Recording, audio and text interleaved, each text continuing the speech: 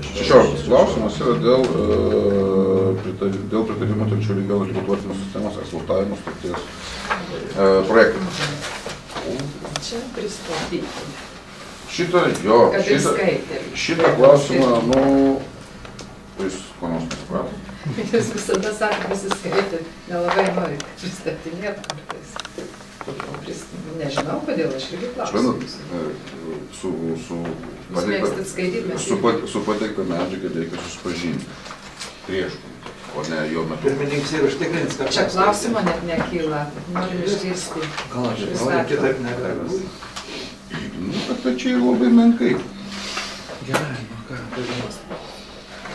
Tai prašom. Teisės akto prieimimo motyvai yra tokie, kad 2007 metais gegužės 3 dieną sudaryta e, Telšių regiono komunalinio būtų tvarkymo sistemos sukūrimo eksploatavimo sutartis e, su vienu pasirašytu pratesimu e, galiojo iki 2015 gruodžio 31 dienos. Ir po ilgų svarstymų, kurie na, dar man čia nedirbant jau vyko įvairiai ir darbo grupėse, ir komitetuose.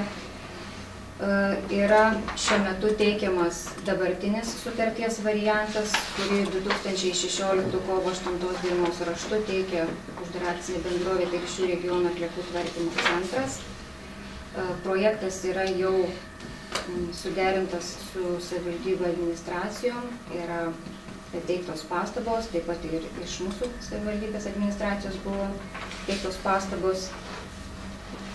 E, Sutartis yra gerokai sutrumpinta dėl to, kad joje yra punktas e, dėl sistemos administravimo 2.1, kuris skamba taip, kiekviena iš savivaldybių atskira pavedimo sutartimi administratoriai paves vykdyti komunalinio atliekų tvarkymo sistemos eksploatavimo administravimo užduotis. E, Manau, kad e, detalės ir apie kitas savivaldybių numatomas funkcijas eksploatavimo užduotis galėtų pakomentuoti uždaros akcinės bendrovės Telšių regiono atliekų tvarkymo centro direktorius Adomaitis. Šiaip iš tikrųjų praktikoje dabar kažkas panašaus ir vyksta, kad vykdant ir konkursus atliekų vežimų, tai yra vienos savivaldybės pavedė, kitos nepavedė, pačios organizuojasi. O šiaip Lietuvoje yra labai margai e, tos sistemos eksploatuojamos, kai kur yra e, netgi rinkliavos, rinkliavos principai, jau pradedama tiek diferencijuotos savivaldybės, kitos ki- kitose e, ratus skaičiuoja, tai mes norim iš principo šitą sutartimi sutarti, kad ta sistema regioninė e, vyksta kaip regioninė sistema, ne kaip kiekvienos savivaldybės. Ir šitoje principiniai sutartį keturi merai e, pripažįsta tą regioninę sistemą. O solidarumo principas irgi e,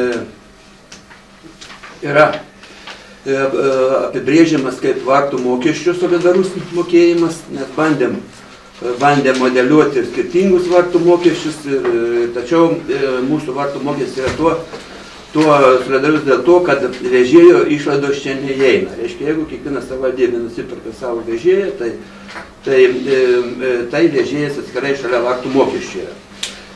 Kitose savivaldybėse, kitose regionuose yra įkeltas e, vartų, vežėjo išlaidos į vartų mokestį, ten buvo įkeltas. Todėl ir tie vartų mokesčiai skirtingoms savivaldybėm buvo skirtingos kitose regionuose, kai kuriuose. Tai iš principo čia daugiau nieko nenorėčiau komentuoti, mes dirbam prie šitos sutarties jau antrį metai.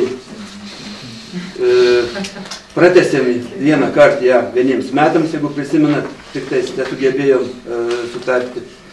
Tai dabar yra jau antri metai, pratesti nebėra ko, reikia vien tai, kad jau reikia dalyvauti investiciniam projektui 14-20 metų naujam kvietime, jeigu nėra e, susitarimo šito, irgi yra e, problemos su e, investicinių projektų rašymui paraiškos teikimu. Tai čia toks bendras sutarimas, kad sistemą eksploatuojam, turim apdorojimą įrenginį atliekų, kuris irgi įtakoja vartų mokestį, nieko ten mes negalim pakeisti šitam vartų mokestį, atėjo į konkursą dešimčiai metų su šito savo atliekų tvarkymo kaina. e, mes tik pridedam savo dar iš vis, visos infrastruktūros išlaikymą. Tai va šitas vartų mokestis yra e, pri, priimtas šitas sutartį kaip, kaip solidarus. Tiek. Jūs, jeigu norėtumėt labai smulkiai kiekvieną punktą apibrėžti šitoj sutartį, tai praktiškai užduotis neįgyvendina. Kiekviena savivaldybė turi savo matymą kai kuriuose vietose. Ir savivaldos įstatymas tai tas pats daug ką sako. Tai ir kyla klausimas, o ką savivaldybė susitarė tas? Gali? Tai viskas yra surašyta. Savivaldybės susitarė tik vieną dalyką, kad e, savivaldybės e, surėmus pečius išlaikys ratsą. Tai jums taip atrodo, ką aš galiu pagilinti. Ne, Jeigu tai yra MBA, yra racas, jeigu tai yra savartinas racas, tai tada galim išbraukti tą racą. Tegu, Ne, čia nėra. ne, nu, aš nesupratau, čia jūsų Kas užuominos. paklausti galėčiam. Mes pamam, kad šis svarstėm kažkada klausim ir dar irgi toks pritarimas buvo, kad įrašyti į tą sutartį ketviršalį tracą auditą kas du metą. Mes privalom. Nu, bet dabar nesusitar, kiek žinau, e, savivaldybės. Kontrolieriai norėtų, na, e, kontrolieriai norėtų tikrinti kitų savivaldybės kontrolieriai, tai tarybos nedaug, ne? Leidimą audituoti ir gali ženklas Manau, kad, manau, kad nereikia leidimų. Nu, bet Kiekvienas čia- savivaldybė gali audituoti. Gal audituoti, bet tai koks tas auditas bus? Bet Daly- kad daly- sutikimo, kitos savivaldybės tikrai Bet nereikia. čia reikėtų gal įsirašyti kad nebūtų pro šalį. Ar čia reikėtų Čia savivaldybės turėkime, turėkime omeny, kad čia nėra viešai, tai yra UABas. Tai kiekvienas UABO dalyvis jis turi savo akcijų dalį. Šiuo atveju plungė turi iki 25 procentus akcijų, tai jos kaip jinai nėra didysis akcininkas, jinai yra mažasis akcininkas. Iki 36 procentų. Tai šitoje vietoje mūsų kaip akcininkų galimybės yra šiek tiek, ribotos. Todėl pačioj sutartį ir kyla klausimų, kuriuos šią tarybos nariai užduoda.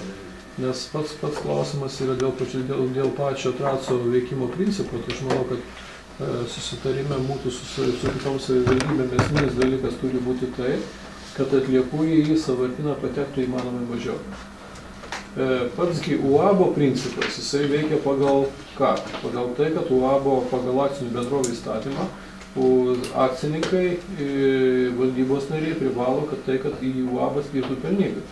Seikti. Va šito vietoj UAB trasas gauna pajamas už ką? Trasas gauna, trasas gauna pajamas už tai, kad įmanomai daugiau e, atliekų patektų į savartyną.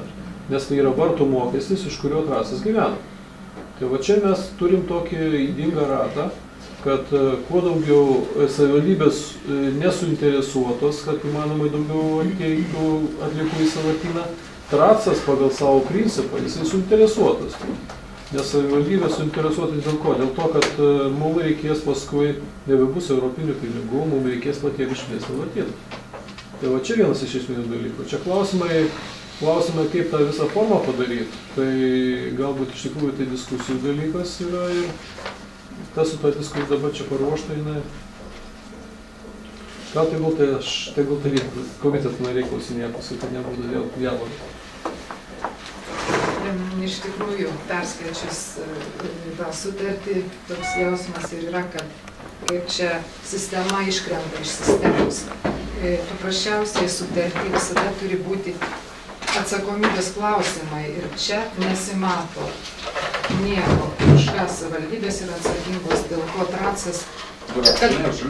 Nu, šalių sutartys, bet visumoje paimkim, kad ir kokį niuansą, iš tikrųjų, aš tą 2.1 punktą, na, nėra net tų krypčių, kaip sako, perka vieni patys vežėjus, kiti e, tracui įpareigoja, vis tik tai, kai perki pats yra vienai, perka kitas tau, yra dar kitaip. Arba ekologinių problemų sprendimas ta atsakomybė ir paimkim, kad ir įsiskolinimų išieškojimas. Taip ir, ir, ir stumdėmės. Kas atsakingas? Ar kad savivaldybė žmonės nemoka, yra savivaldybė kalta, kad ji čia nesužiūrėtų, ar tracas nesugeba įsieškoti. Čia nieks nėra apspręsta. Ta sutartis yra, kaip sako, mus vienyje vartų mokestis, galime valio pasakyti, daugiau nieko. Nėra toj sutarti, vienintelis yra sakinys. Daugiau mūsų nieks nevienyje, bet į kur tai nuves. čia yra labai jau tiek sutrumpinta, kad arba eina sutrumpinta, gerai. Nu, Jeigu sutartį nuodugniai pažiūrėti, tai čia yra tos įmonės pabaigos pradžia, rašo. Nes savivaldybės pabaigos pradžia ir aš motivuosiu kodėl. Visos savivaldybės niekur nebėra žodžio vieninga regioninė sistema, tai yra pagrindinis tikslas, kam buvo įsteigtas atliekų tvarkymo centras, tai yra valstybės strateginiam plane, tai buvo pagrindinis tikslas - vieninga regioninė sistema. Šitoj sutartyje iš karto šito žodžio jau nebėra. Ir e, 22.1 punktas, jis yra labai deklaratyvus, tai reiškia, mes susitarėm, kad mes kažką pavesim racu. Vat ir visas sutarties objektas. Mes susitarėm visi susėdę, kad mes kažką tai pavesim racu. Ką pavesim, kokioje apimtyje pavesim, ar tai bus derinama tarp partnerių šitos sutarties, ar nebus derinama, šito jau nebėra. Kiekviena, e, kiekviena savivaldybė e, sprendžia jau pagal savo, na, pagal savo planus. Kita vertus, e, 3.4 punktas mane iš viso iš tikrųjų nustebino. Tai yra e, paskutinis sakinys, e, vartų mokestį turi padengti e, regionės atlikų tvarkymo sistemos administravimo rezultatavimo sąnaudas, viskas čia teisingai. Ir vartų mokestį tvirtina administrato- administratoriaus kolegialus organas. Reiškia, mes visos keturios savivaldybės pripažįstame, kad uždaros akcinės bendrovės valdyba nuspręs įkainį, patvirtins įkainį mums visiems, kuris galios ir kuris bus neginčiamas. Nu, čia aš neįsivaizduoju, kaip tai galima e, su, pagal įstatymą sutapatinti su vietų savivaldos įstatymu, kur joks įkainis negali galioti savivaldybės teritorijoje, bet tarybos, viešas įkainis savivaldybės teritorijoje, bet tarybos sprendimo.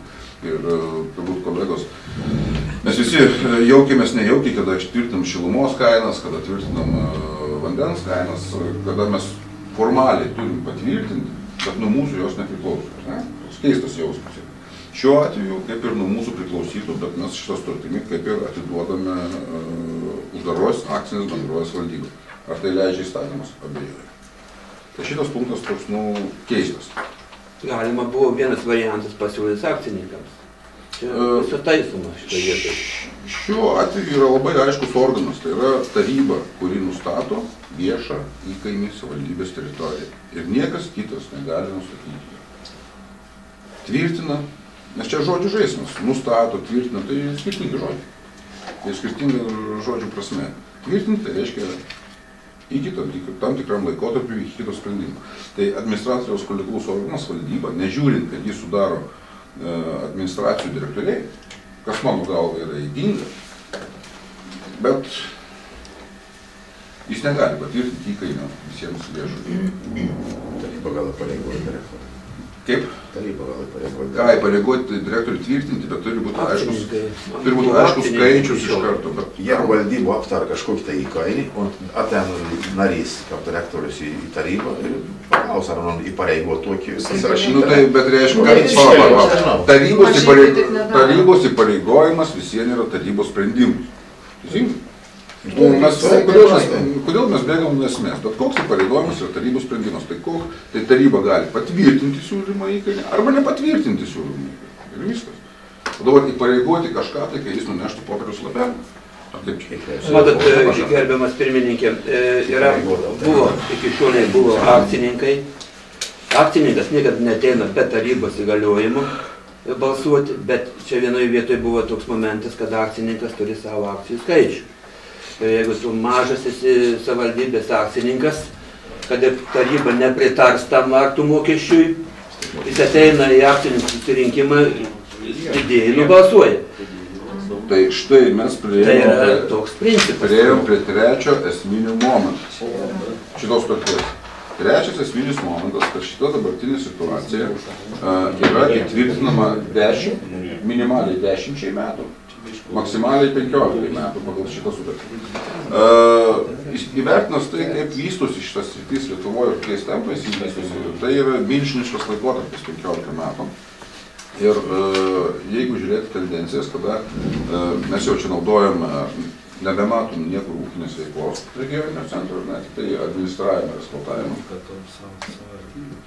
Nors kas yra į, įkalkuliuoti tą eksploatavimą, mes taip ir nesuprantam. Nu, čia nėra išaiškinti, kas tai yra eksploatavimas. ką, ką tu galvoji. Sistemos. Kas E, tada, tada sistemos aprašymą Sistema. norėtų pamatyti. Sistema, kas yra iš vis. E, tai va, e, aš, aš, Yra atliekų tvarkymo įstatymas. Kontūra. sistema, kas tai yra. Kontūra. Tai yra visos, e, e, visos sistema, tai yra aikštelis, savartynas, vežėjo parinkimas, tai yra sistema. Bet tai ar jūs galite ir širdies pridėjęs, kad jūs įsivaizduojate, kad juridinė forma ir išliks uždaros akcinės bendrovės? Aš manau, kad, e, nu, įsitikinęs netgi, kad vis vien bus keičiama į viešą įstaigą. Ir tada bus įspręstas klausimas apie didįjį akcininką ir mažąjį akcininką. Nes ne, kodėl e, mažesnė pagal gyventojų skaičių savivaldybė yra blogesnė už didesnę savivaldybę? O viešosios įstaigos e, modelį yra įmanoma, kad vienas balsas turi tą pačią, tą pačią vertę. Todėl, e, manau, čia yra įs- įsitvirtinti dešimčiai metų šią įgingą sistemą, kada e, vienos savivaldybės yra geresnės už kitas savivaldybės, manyčiau, nevertėtų. Tai Supratau, mažinti terminą yra siūlymas, e, toliau apie, apie organą kolegialų kritikuotinas pozicijas. Ir e, toliau iš visos tos e, jūsų kalbos e, norėtumėt, kad labai būtų labai daug paaiškinta, kas tas yra pavedimo sutartis. Jis buvo padaryta apie 20 pozicijų. Kiekviena savivaldybė pasakė labai aiškiai. Mes šitos pavedimus analizuosim atskirai.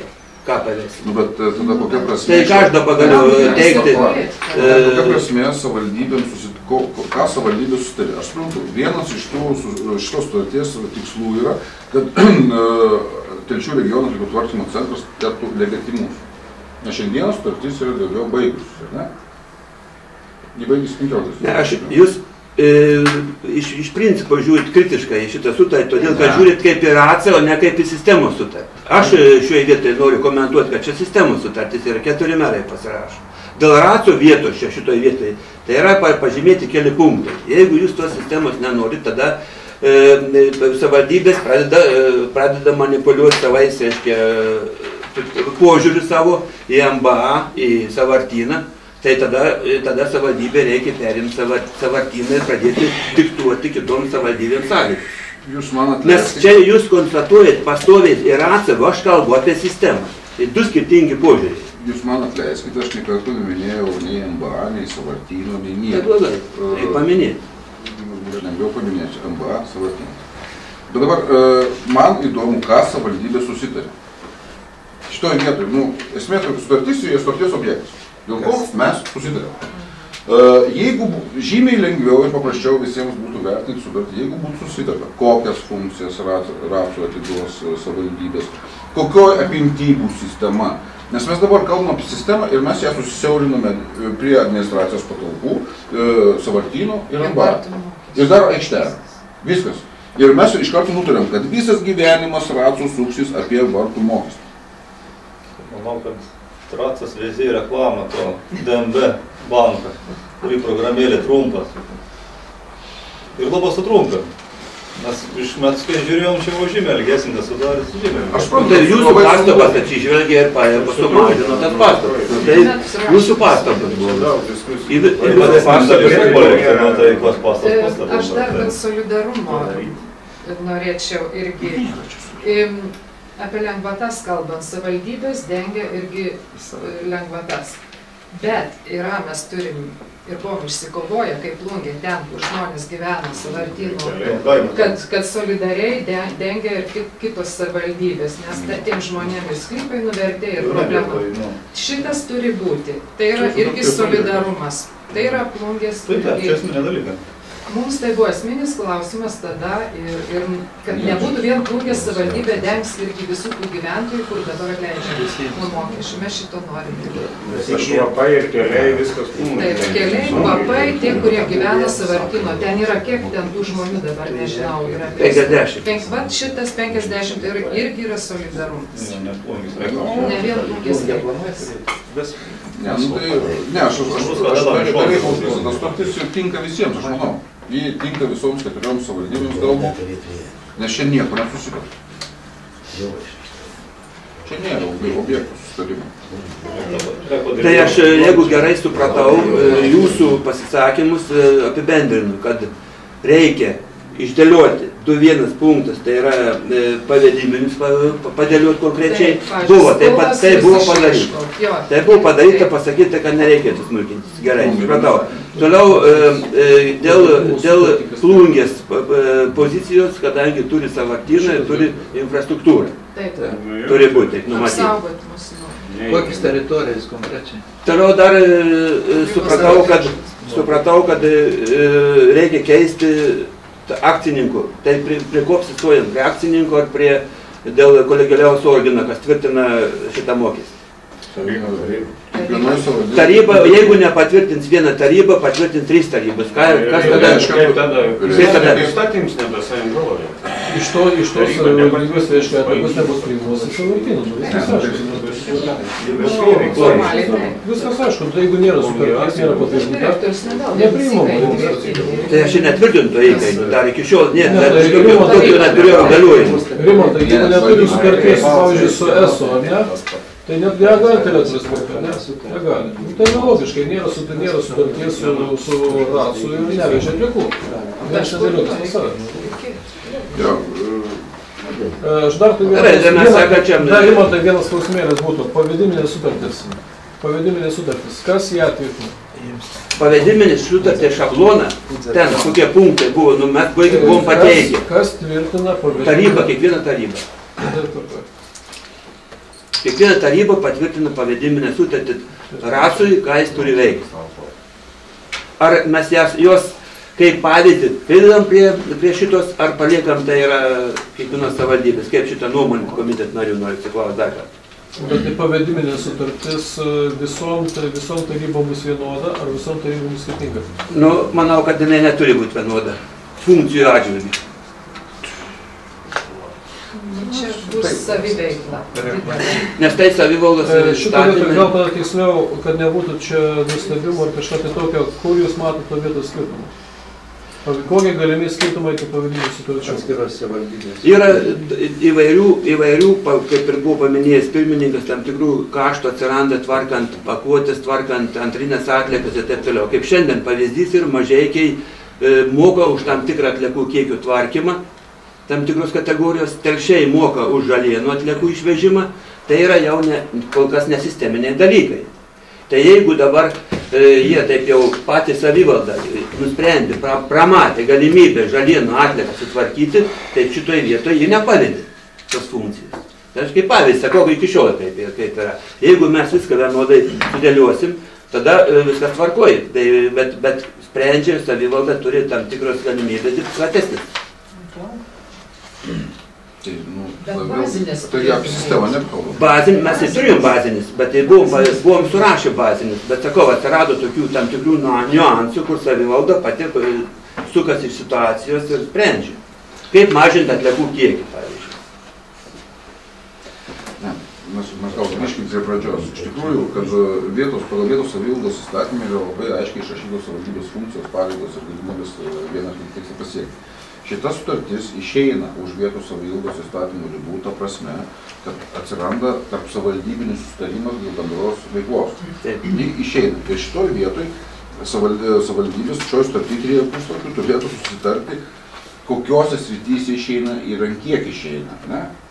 Prasme, turi jos susitarti, e, ką jos pavada, nes trišalis, e, jeigu mes turim vieną sutartį, tai jį prezimuoja jau ir vienodus, vienodą išėjimo laipsnį.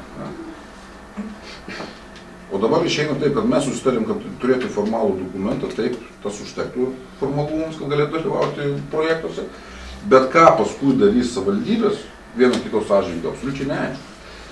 Kiti yra atsator, kiek savivaldybės, ne mūsų, ne mūsų telšių, bet e, to pasirašęs tai sistemas. Labai yra, labai yra skirtingai, yra VŠI kitos įmonės, toliau yra kiti, va, skuodas, sakykime, tvarkosi, pats komunalini- komunalininkas įsirenka ir mokesčius ir važiuoja vartų mokės klaipėdės. Ir labai skirtingai yra. Su tauragi pavyzdys pats blogiausias Lietuvoje. Jeigu norim tokį pasiekti, einu per bankruoto ribos. Ne bankrotų, bankrotų, bet, e, bet sakysim, Todėl, todėl, kad ūkinis, ne, aš apie sutartis e, negaliu konkrečiai analizuoti visų, visų sutarčių. Bet galiu pasakyti, šiai dienai tauragės situacija sistema žlunga. Ir dėl to, kad e, kaštai, taip poli- išsipolitikavo kaštai, kad ekonominį pagrindimą nebėra. Taip. Todėl, kad pasidarė kaštai politinio, politinio subjektas kaštai, o ne ekonominiai. Taip kaip vandeniu klausimai spręsti. Ir nieks, nieks nebepolitikuoja prie vandens. Maža kintamoji dalis. Taip pat ir atlikos mes kreipėmės į aplinkos ministeriją, kad būtų e, atliekų kaštai tvirtinami e, kainų komisijai. Pastovėjai kaštai. Kad nebūtų tai kažkokie tai subjektyvūs. Samatas taryba toliau. Na, praksėti, kad reikėtų iš savivaldybės jums Į kainų komisiją. Kintamoji dalis tai yra ten administracinė išlaida. Šiuo atveju, šiuo atveju klausimas yra tas, kad kaštai tai yra kaštai, bet mes turim apsižiūrėti dar ir, sakykim, kokie kaštai yra patys e, RACO kaip struktūros. Kadangi jie pagal paskutinius išaiškinimus, jinai nebegalės daryti ūkinės veiklos ir galbūt iš tikrųjų būtų labai gerai ir, ir, ir malonu mums patiems pamatyti prie patobulinto sutarties varianto, prie pridedamosios sutarties, tuo pačiu pamatyti, e, kokia yra traso struktūra, kokie yra padaliniai ir pabandyti pagrindimą padaryti tų pačių padalinių, kadangi visos eilės ūkinių funkcijų jūs nebetlikinės. Tai natūralu, kad trasas kaip struktūra neturi pakankamai ženkliai susitraukti. Tai va šitą dalyką, nes tai yra taip pat mūsų kaštų dalis, kuris kiekvienas žmogus, kiekviena įstaiga sumoka būtent už atlikų tvarkymą. Tai va čia yra tiek Viskas gerai, merė, bet jūsų žodį, žodžiuose, kad net liekinės funkcijas, tai grėsia didelis e, rizikos. Jeigu Ūkinės- mes atiduosim ūkinės e, veiklą, kaštai gali iškilti. Šitą vietą klaus, Čia- klaus, klausimas to vietoj, čia ką mes galime ginčytis arba nesiginčyti, bet yra konstitucinio teismo pasakyta, kaip turi būti vykdoma veikla. Nepažeis konkurencijos. Tai, e, na, atsiprašau, bet jeigu, kaip, e, jeigu pats, pats, pats šoko pats dainuoja pats bilietus parduoda, tai yra pati didžiausia. Nu, pavyzdys Alytus, e, du kart konkursą organizavo, Leo, nieks neteina į jambą, todėl kad dideli kaštai, o Alytus tvarko su mažesniais kaštais. Galų gale, galų gale visų viešųjų pirkimų tarnybos vadovė Diana Vilytė pirmąjį teko dėl tokių panašių dalykų diskutuoti pakankamai daug. Tai gali, yra modeliai, kaip tai pasidaryti, bet kad e, skaidrumas e, tada, kai tu perki paslaugą ir kai tu darai pats, yra visiškai skirtingas. Visiškai skirtingas. Dėl to, kad kai tu darai pats, tu gali bandyti neįsiskaičiuoti, gali užslėpti kažkokius tai pinigus, o jeigu tu perki to vietoj rinkoje sąlygas, tai matai, kad tai yra pakankamai tvarkinga ir aišku. Tai čia iš tikrųjų mes norim, aš manau, kad komiteto nariai pritartų, kad norim pamatyti visą struktūrą, kas joje būtų, kiek dirbtų žmonių, kiek dirba šiuo metu, kurių padalinių atsisakom, kadangi funkcijas iš tikrųjų turi būti perkama paslaugų. Tai aš manau, kad ko gero tai būtų labai geras normalus parodymas ir tada matysim, kiek, sakykim, toje vietoje atliekų, atliekų mokėjimo už atliekas mes sumokam, kiek tų pačių centų ar kiek tų pačių eurų mes sumokam būtent administravimo išlaikymui. Nu, noriu papildyti, pataisyti, jeigu pasakysiu, jeigu konkursai gerai, jeigu dalyvau daugiau negu vienas konkursų dalyvių. Bet jeigu ateini konkursą veikti, Tai ir dabar, sakykim, vežėjo konkursą kiek dalyvavo. Keturi. Nu, tai aš manau, kad pakankamai normaliai. ne, bet būtų Pakankamai normaliai. Būtų Tai- nėra Po vieną neteina. Dar vienas klausimas. E, Iki kada gyvybiška pasirašyti sutartis? Nu, aš nežinau, kiek čia gal užtikti galim prie investicinių projektų, bet jis be, be rugsėjo mėnesį ne, negims. Gal su man dirbs, jeigu neturės sutartis. Investicinių projektų dabar rengimas yra. Jeigu, jeigu pasi, pasitvirtins e, tarybos visos dalyvauti investiciniam projektui, jos sutarties tos reikės. O gal atsitiks taip, kad e, kai kurių savivaldybių tarybos nepaves razų? Investicinių projektų. Nu, buvo toks pamastymas telšiuosi, kad patiems surengti investicinį projektą, bet yra daug permastoma. Nes aš jums suprask vieną dalyką, nes jeigu savivaldybės netgi tokius dalykus e, pradės daryti e, savarankiškai, kaip jau daugelį dalykų daro, tai yra ratsų kaip įmonės e, pabaigos pradžia. Nes pagrindinė dauna vis dėlto netgi steigimo principas, tai buvo du steigimo principą ratsą, tai yra vieninga sistema susikūrims geroms europinių lėšų priėmėms, kad būtų priimtas regioniškai, nu, tas visam regionui. Ir jeigu šiandieną vat, mes du vienas punktų pradedam šnekėti, kad mes neapsi- neapsitaram iš karto, kom darys ratsas, Realybės nebėra. keturios savivaldybės nesutarė iš karto, kom pavės ratsas, tai reiškia, kad ramus gal daryti, ko nori, gal to momento jūs pasirodė. Teisingai. Bet yra trečias punktas, sistemos finansavimas. Ten, reiškia, yra šalys susitarė. O savivaldybė tiesiogiai finansuodama ne pažeid sistemą, plūdo sistemos aprašym, ką po to dar nieko. Pagal tą sutartį, kad kratas ir viena plungė bereikalinga. Tai va, Iš esmės, aš matau, kad taip, pagal viską tas, kas vyks, mums reikalingas viena plungė ir tavo. Daugiau nei telšiams labai reikalingas. Tai mažai kaip iš vis nebuvo reikalingas. kad padėti. Jo, nes uh, plungi tam reikalingi kitiems ir kada atliks padėti. O mažiekiams buvo reikalingas tik tam, kad panaudoti lėšas, e, kurios buvo savartynų uždarimų, kuriame sugebėjai užsidaryti 21 savartyną susitvarkyti. E, Telšiuose kiek buvo savartynų? 19 ar 18? Apie sutvarkyti jau. Jo, apie 20 kas kainavo pinigus, o plungė Lietuvė buvo sutvarkyti po vieną savartyną. O tam reikėtų. Dabar šiandieną to nebereikia. Būtent viešo tam reikia pripažinti. Nebereikia. Dabar kiekvienas Tai aš dėl to su sutartim ir ateinu, kad ta sutartis tai yra dokumentas, kuris visi pripažįsta, kad tą sistemą reikia eksploatuoti. Pripažinti, kad eksploatuoti ir vienas dalykas, bet o ką? Čia kai- nesusitar. Kai jų niekas nepaveda, nepaves. Tai nieko nėra. Kiti. Čia juristas žiūrėjai, Ir Be abejo. advokatai ruošia trečią sutartį. Be abejo, čia yra, čia yra kompromisinis. Čia yra iš visų atsiliepimų, tiek kiek gauta buvo pasiūlymų, yra paruoštas, aiškiai, variantas. Vis konkrečiau. Nu, sutartis. Kon- Buvo, pirmas buvo konkretus variantas. Ten, ką viską veikti, ką daryti, tai, tai viskas konkrečiai. Bet kadangi savivaldos, aiškiai, statymas, ir ten kai kurios momentus, aiškiai, pradėjo eiti prie. Tokie Tai prisiminkite, jūs pati buvote valdybos narė, tai čia ne iš menų nenukrito. Aš ateinu visų kitų dokumentų, visai kitos pastabos. yra. Bet e, gerbiamas direktoriui ir buvo konkrečiau. Buvo konkrečiau. Supranta, dabar pasakys mažiekiai, nu, mes patys įsieškom skolas, patys perkam vežėjus, tai kaip sako, gal. Patys renkam pinigus. Kol kas, kol, kol kas, kol kas nieko patys nedaro. Kiek tik priima sprendimų ir mažiekiai, telšiai tik apkraunamas administracinis, reiškia, darbas. Priima sprendimą lengvatų, viską daro mes. Mažiekiai, pavyzdžiui, nieko dar Bet neprisijėmė. Tik tai savo įmonį, bando išlaikyti, da, dapirdami tam tikrą paslaugą, daugiau nieko nedaro. Gerai, o dabar toks paprastas konkretus klausimas. Nu, sakykim taip, e, sakot, nieko nedaro. Ja. E, Ar, pavyzdžiui, tokiam mažeikių savivaldybei būtų didelis sunkumas, e, paskelbti mokesčių administravimą ir pasirinkti būstą, kuris iš, iš principo ir šiandien tai atlie- atlieka tą funkciją. Tai mažeikių savivaldybė gali paskelbti konkursą ir jam surinkinės tiesiogiai būstus. Nu, galite pasirinkti. Tai, tai jūs turit kreiptis ten, ten nekyla tokių Ne. minčių dar jiems. O, jų minčių yra labai įdomių. Privatus norėtų išsirinkti tos dalykus, reiškia, tos mokesčius, norėtų, bet mes nuperkam per, per solo, per maksimą, per šitos yra pirkimas. Nes tai yra pats bjauriausias dalykas. Aš sakau, Alytus skelbė konkursą e, fabrikui e, e, tvarkytis ir dėl kainos antras konkursas neteina. Tam, kad neišbrangintų gyventojams paslaugos. Bet bazinis... Tai tobulinti, tobulinti žodis abstraktus ir aš užsirašiau kelias pastabas ir pagal tas pastabas pa- pa- padarysim, bet tai yra Mano sprendimas yra, ne čia sprendimas yra netgi toj pačioj valdybai, kuri neturi teisės tvirtinti, bet nu, tvirtina. Vis dėlto turi būti vienodas savivaldybių sustarimas. Nu, vieną kartą turi atrasti bendrą sutarimą. Ka- Kas bus pavesta racijų. Ir iš principo, aš manau, viso sprendimo raktas yra, kada ratas taptų viešąją įstaigą ir pasibaigtų akcijų diktavimu. Aš įsakyčiau, kad e, reiškia, viešųjų įstaigų modelis yra šiek tiek e, geresnis, sprendžiant atliekų klausimą. Taip. Nes tai yra akcininkai, negali spręsti didieji akcininkai. Taip. apie Tai tas- gal darom tų žingsnį? E, Apie tai aš nuoširdžiai kalbu kokius devynis metus. Problema.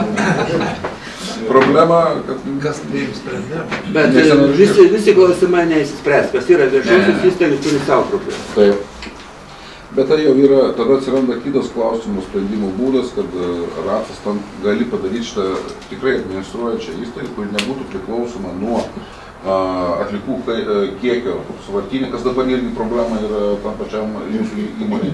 Mes e, atliekų kiekį minimaliai esam sumažinę. Nulis savartynų. Teisingai, o iš ko gyvensit noriu paklausti? O čia, tai, taip kaip ava. tauragė subankrutuosim ir viskas. Ava, Bet todėl, esam nulis, todėl, turim nulį. todėl gal Tai yra prie... švediškas, švedas Jo, jau aplenkė. Tai, palauk, tai, tai todėl mes gal, prie, gal mes prieikim prie... Nulis. Ne. Kol kas. Ar galiu užbaigti? E, Tada gal mes prieikim prie to, kad vis dėlto, jeigu mes turim administruojančią, kontroliuojančią įmonę, padarius ją viešąją įstaigą, gali suformuoti biudžetą. 30 eurų.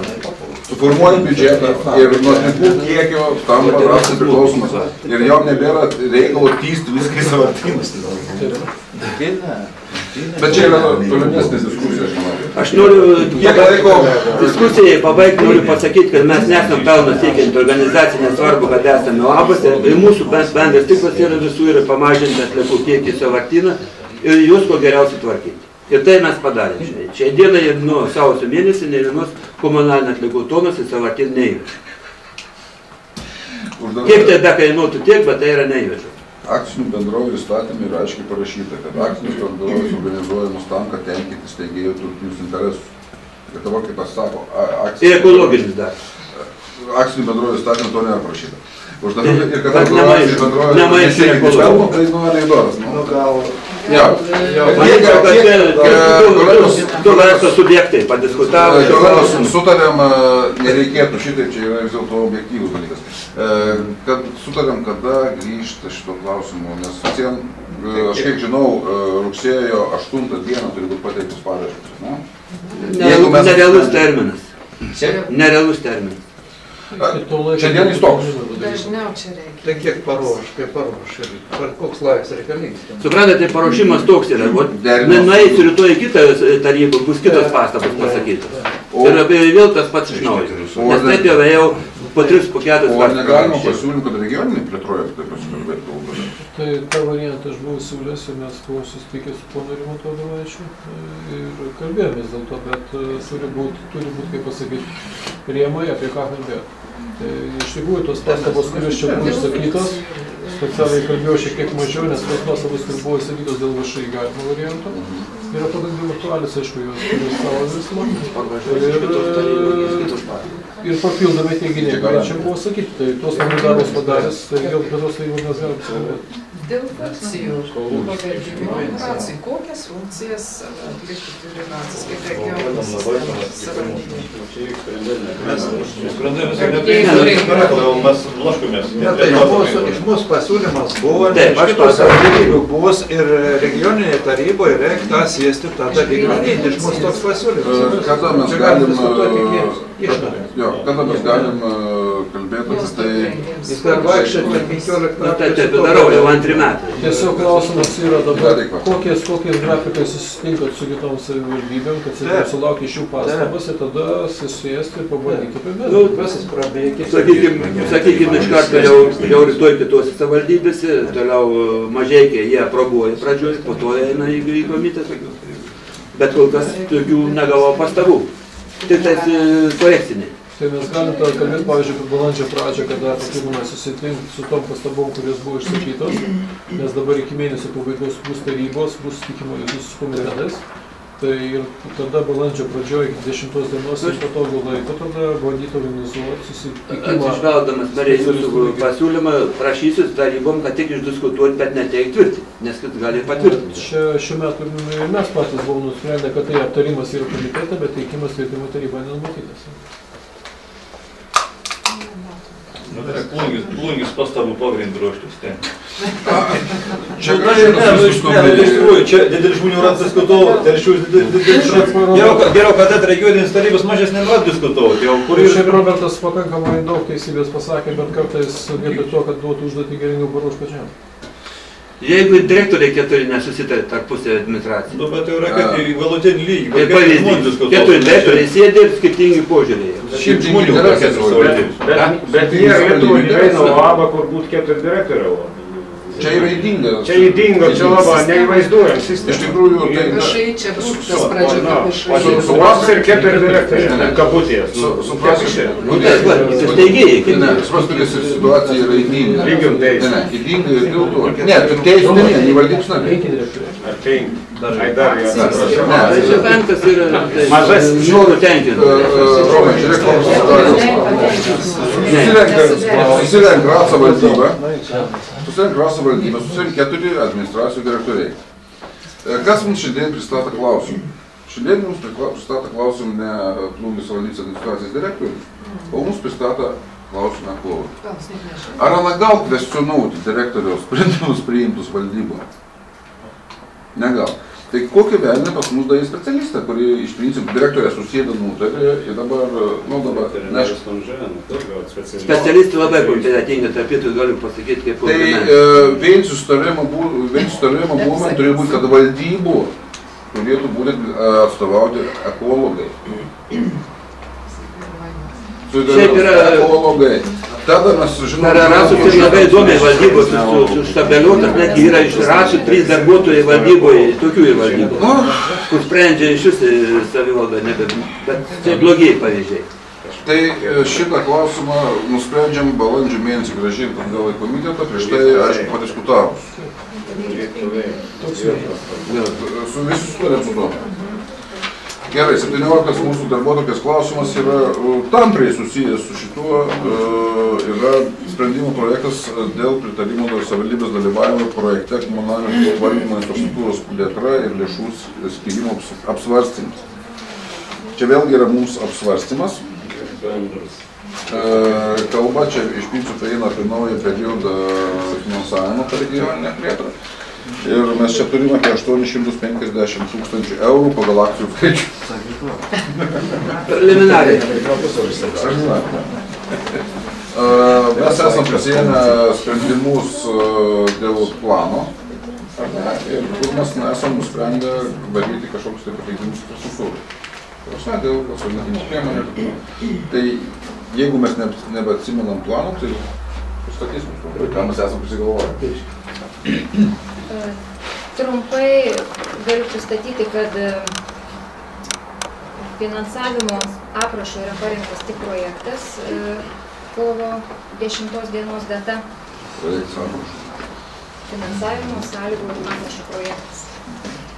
Numatomos finansuoti veiklos, šiai dienai yra penkios, tai biologinio atliekų surinkimo konteineriai ir arba kompostavimo priemonių individualioms valdoms plėtra, konteinerinio aikštelių įrengimas rekonstrukcija, tai didelių gabaritų atliekų surinkimo aikštelių įrengimas atnaujinimas, E, ketvirta veikla atliekų paruošimo naudoti pakartotinai infrastruktūros sukūrimas atnaujinimas. Ir penktas visuomenės informavimas atliekų prevencijos tvarkymo klausimais.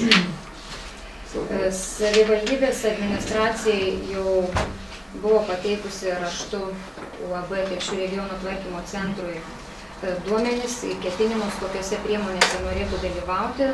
Tai yra žaliuoju atliekų surinkimo konteinerių įsigijimas įvairių tūrių ir 10 kubinių metrų, 7 kubinių metrų, e, 0,24 kubinių metrų plastikinių konteinerių įsigijimas. E, Antra priemonė būtų Plungės miesto pusiau požeminių konteinerinių aikštelių įrengimas vietoj dabartinių esančių antžeminių. Ir, ir trečia priemonė, ties kurią dar vis diskutuojame, bet numatomas įrengimas stambiagabaričių atliekų surinkimo aikštelių Kulių miestelį ir Žemaičių parapijos seniūnijoje. Tai va tokie būtų mūsų ketinimai. Mm, Kadangi nėra galutinio dar projektų finansavimo sąlygų aprašo patvirtinimo e, ir nėra dar tokio tikslaus apsisprendimo, kiek konkrečių mes priemonių imsimės įgyvendinsim. E, Tai yra teikiamas tik tarybos sprendimo projekto aptarimas, informacija, bet netikimas tvirtinimas. Ir jeigu kyla komiteto nariam klausimų, tai Projektą reikės iliustracijos, su mes partnerėmės, kaip jūs norite. Čia Jūs pavės. reikės bus. Taip. Mūsų savivaldybė nepaves. Yra partnerystė. Šiame projekte yra numatoma partnerystės sutartis. Ne, nepraeis investicinis projektas be partnerystės sutarties. Šio projekto partnerystės sutartis, šio projekto, kad prisidės, kad, kad e, dalyvaus ir taip toliau ir taip toliau. Noriu paklausti dabar, e, tai prisidėti mes matom, kiek turėjom prisidėti tų pinigėlių, o kiek gausiam iš to bendrą biudžetą, tų projektą, ar, ar, ar, ar pagal tom, kiek prisidedam, ar, ar, ar, ar, Ne, ar jūs- nuvažiaus kažkur naujo. Nuo tos sumos, kuri įsisavins ES pinigų, būtent plungės savivaldybė, nuo tos sumos turės prisidėti 15 procentų. E, Gal tų 800 jūs ir neįsisavins, gal 300. Tai vat nuo šitos sumos 15 procentų. Tai atsiprašau, 15 procentų labai, labai nedidelis tai ir prisidėjams, tai čia, Tai bet tos pačius turėtų. Tai čia gali paimti ir... Tos pačius eiti dar turėtų. Nu, tai... Pakankamai reikšmingas, nes yra 15 procentų ir plus 5 procentai e, netinkamų finansuot sumoje gaunasi 20 ir tai būtų apie 170 tūkstančių. Tai Nu, bet kas yra 80 procentų rastum gatvės padėtų Tokį pinigų. intensyvumą nebėra. Tiesiog nebėga 80 procentų kažkas. Jo. Tai čia labai gerai. E, Tai iš principo e, mes šnekam apie žinomus dalykus ir ar mes galim, čia kadangi aptarėm, mes galim sutarti, mes prie tam dalykį dalyvausim tikrai vienareikšmiškai, tai tiesiog reikia sulaukti, kad savivaldybės sprendimas būtų gyvybingas, to būtų paprašus, nes savivaldybė negauna prisimti Yeah. sprendimą. Iš esmės taip. Iš principo norėčiau tik iš jūsų gauti, kad, kaip ir paminėjo pirmininkas, kad aiškiai, dalyvaujam su tuo investiciniu projektu. Priemonės norėčiau pastebėti, kad tikslas šito investicinio projekto yra tai mažesnis atliekų kiekis patenkantis į galutinį tašką, e, daugiau perdirbimui, tai yra at, atliekos, žaliosios at- atliekos, jeigu pastebėjot, kvietimas yra. Rušiavimo konteineriai, požeminiai kuo arčiau auginamo 150 metrų, 100 metrų, kad gyventojai namai turėtų savo aikšteles, kurios e, mokestis priklausytų nuo jų prie šito namo atliekų kiekio. Tai tokia būtų ideali, ideali, reiškia, būtų svajonė ir 100 metrų. Na, šiek tiek namo. 100 metrų. Čia mer daug priminėjai, jūs pasakykite, kur planuojat plungė daryti. Tai yra šiuo, šiuo, metu, šiuo metu yra e, aikštelių išdėstymų planas padarytas. E, Be abejo, ten e, gali būti kai kurie vienokie arba kitokie pakeitimai dėl to, kad ten žeminės aikštelės įrenginėjamos buvo ten, kur galbūt apačioje yra komunikacijos. Tai, sakykim, detalizuojant reikės dar atitinkamą nuotraukas darytis konkrečios vietos. O tik tai tiek, kad e, pradžioje buvo tokias nerimas, kad kai kurios savivaldybės buvo galvoję, sakykime, čia surietavo konkrečiai, kad jie požeminės ir pusiau požeminės aikštelės. Tai iš tikrųjų liktai sprendimai tie, kad bus vienodo tipo, nes aptarnavimas gaunasi pakankamai žemės. O taip, e, architektai savo darbą yra dalinai padarę, tam, kad parinkimai vietų būtų. Ir natūralu, kad, sakykime, iš kitų namų ten, kaip sakėt, nebus galimybės nežinau, dėl to, kad bus ar tai čipsas, ar tai raktas, ar tai kiti dalykai, tam, kad žmonės mokėtų už tą kiekį, kurį iš tikrųjų išnešime. Tai čia gal to vien reikia koncentruotis ant tų Jo. aikštelių, o ne... Regioniniu mastu. Mūsų suiks stambiagabaritis, ten kokiam kaime, tai mažiausia, kas sofį išnešsi, be neš per vis kaimą E, numatyti. Robertai, tai yra problema, tos dabar stambiagabaričio kelių tvarkymas yra problema visiems vartotojams. Nes e, iš principo, nu, negali palikti? Aš žinau, bet tai geriau mokyti vežėjau, kada nustungiau surinktų, bet žmogų nepatogiai iš, iš, iš vis nešti. Mes tai teisingai padarysim kelią. To žmogus, jeigu sugebėjai nusipirkti sofą, už to sugebėtina nuvežti aikštelę atiduoti. Čia teo- teorija, žinai, praktiškai tai. Jeigu, jeigu mes nedarysim praktikos, mes mokėsim svetim kiaulytės.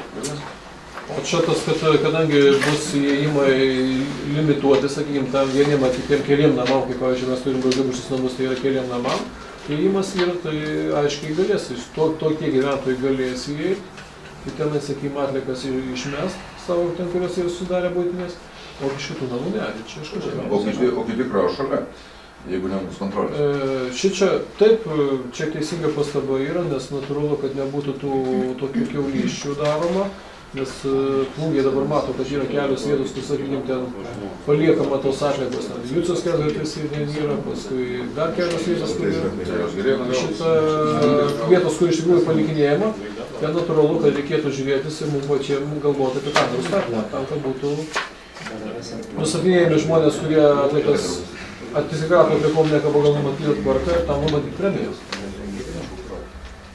Labiau, kad savivaldybė dabar to turės daryti.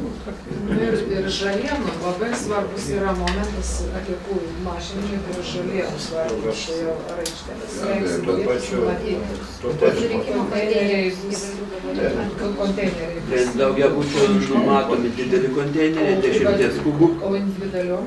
individualiom išstu- išstumiama. Bet tai dar išstumiama reikia dar čia didelis klausimas. didelis klausimas. Išvežimo, pavyzdžiui, telšiai daro tą išstumimą. Nu, tobulusai, kad- Šalia kom, komposto dėžių dar yra kiti gaviniai ir yra gana Šiaip iš tikrųjų komposto dėžės pats geriausias variantas. Pats, pats geriausias, jokių išstumimo, jokių vežėjų nebereikia, nei nieko. Pasikompostavai ir viskas. Tai, Planą iškrauta, ne, tai direktorius skaitė pač progą, gal ne visai tema ir apie, apie pusiau miestą čia visam matyti. Pusiau miestą tai sodų bendryjas. Sodų bendrijos konteinerių kelių kaip ir nėra, ar čia infrastruktūros plane nenusimato, ką nors nieko. Taip mes pusiau miestą paliekam be nieko. Sodų bendrijos ilgas diskusijas. Sodų bendrijom, kaip žinote, ir komunikacijos, ir keliai, ir, ir atlikos yra probleminis. žmonių daug. Nėra kur padėti konteinerį. Visų Nu, tai problemų. infrastruktūrą gerinant konteinerio aikštelę daryti. Nėra, Žemės Kur yra, ne žemės. Jokių užborto ratai nėra, iš principo su, su sodo bendrijoms turbūt paprastas sprendimas, ar bus yra aptarnaujamas konteinerinėm aikštelėm, kas iš principo jau šiandien tam neįmanoma, nes nėra kur pastatyti, tai kelias veidas, kur galėtų pastatyti konteinerinės aikštelės. Tai sprendimas į paprastas, žmonės aprūpinam konteinerius. Ir važinėjimus Ir, žmonės. Kompostavimo konteineriai Visi, tie, kurie norėjo, visi konteinerius yra Kur tarp- norėjai, nenorėjai. O tie, kur nenorėjo, nei paskundo gavo pranešimą. Tada užsimako konteinerį. turės to konteinerio. Gauna už atliekas, o ne į trasus. Už atliekas, kurias ku- gen- generuoja. Trasus yra priverstas rašyti sąskaitas, todėl kad yra kompensacijos pas gyventojus. Nu, Tai jau vis. problemų. Tai Tai čia jūs nemažai. nesureikšminkite tą trasą, jis yra vadovaujasi ministrai įsa- įsakymais, ką- ką mokės ir viskas. Tai e, mes e, abortus klausimus, e, minutę, mes galim čia, iš- aš suprantu, jau pavargom, abortus klausimus aptarėm, savivaldybė e, tam projekte tikrai dalyvaus, vienareikšmiškai. E, Tik tai, e, bet čia šio komitetų nuomonė, pons finansistą pasakys, aš nežinau, bet už mums atsakyti sunku, nes jiems reikės išduoti pinigų, ar tai 150 tūkstančių, tai iš biudžeto. Nu, čia jau galėtų ir iš paskolos lėšų, tinkamas finansavimas. Gerbiamas pirmininkai, matote, esmė tame yra, kad mes jau turim pirkti konsultantą investiciniam projektui. Jau pagal pats pasakė, rugsėjo mėnuo reiškia paraiškos padavimo laikotarpį. O kas paruoš investicinį projektą? o- Dabar o- jūs- tiesiog gebėjimų- Jūsų tas, e, Kas? Stasiaus. Tai šitai sėdė, sėdė, sėdė. Tegu pasako, gali paruošti investicinį projektą, negali. Tas ir žmogus, kas tada gal dirbti. Iš dar konsultantą. Ko tik meras sakė, reiks sumažinti etatą su jūs dabar konsultantai.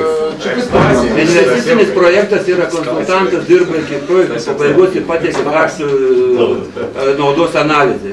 Kuri yra, tokia yra formulė surašyti, kad ir aš matematiką baigęs esu bejėgis.